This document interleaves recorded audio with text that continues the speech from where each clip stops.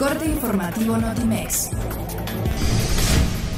El titular de la Secretaría de Seguridad y Protección Ciudadana, Alfonso Durazo, aseguró que se logró romper la tendencia histórica de la violencia en México, que tenía un registro ascendente año tras año, pues en la puesta en marcha de la nueva estrategia de seguridad del Gobierno de México disminuyeron los homicidios dolosos.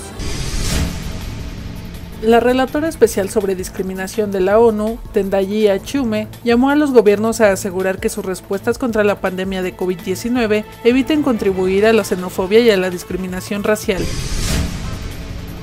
La directora general del Fondo Monetario Internacional, Cristalina Georgieva, llamó a la solidaridad y anunció que la entidad tiene un billón de dólares de capacidad de préstamo para los países que lo necesiten.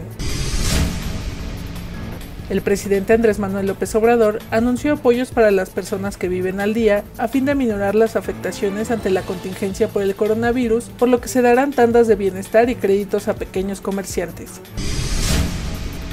Ganó el no a la construcción de una planta de la cervecera Constellation Brands en la consulta realizada el fin de semana en Mexicali, Baja California, por lo que no se darán las concesiones que estaban pendientes, informó la Secretaría de Gobernación.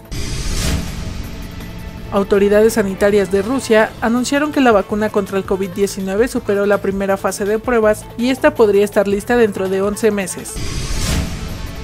Los Juegos Olímpicos de Tokio 2020 han sido aplazados y solo quedan los detalles para definir las nuevas fechas, declaró el canadiense Dick Pound, miembro del Comité Olímpico Internacional.